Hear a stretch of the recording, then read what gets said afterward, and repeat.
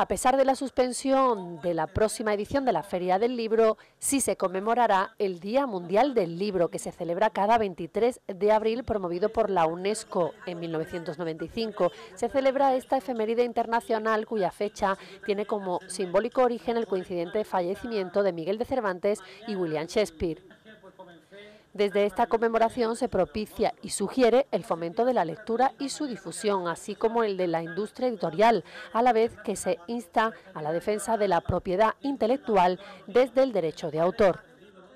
Por ello, el ayuntamiento se suma a esta efeméride universal, en días en los que los libros se convierten en ventanas abiertas al mundo y también a la esperanza, como lo demuestra el hecho del considerable aumento del número de préstamos literarios vía Internet a través del servicio de la Red Municipal de Bibliotecas de Algeciras. Para celebrar este día, una variada representación de escritores de todos los géneros literarios, así como miembros de diferentes colectivos culturales, se han sumado a la iniciativa municipal de participar con sus lecturas para ayudar a sobrellevar el estado de confinamiento actual en un vídeo elaborado por Cultura que podrá verse el próximo 23 de abril en la página web y en todas las redes sociales del consistorio.